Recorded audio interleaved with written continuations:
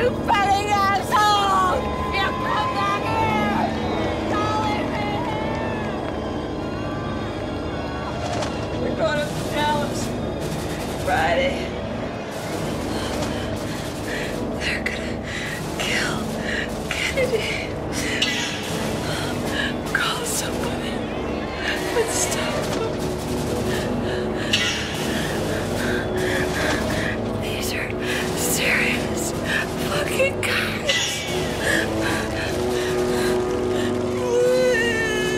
High a kite on something.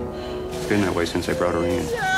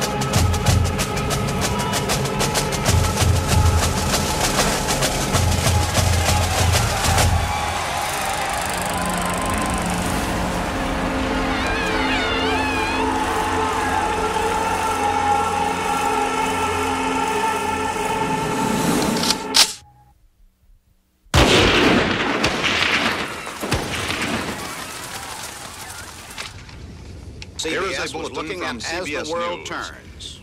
In Dallas, Texas, three shots were fired at President Kennedy's motorcade in downtown Dallas.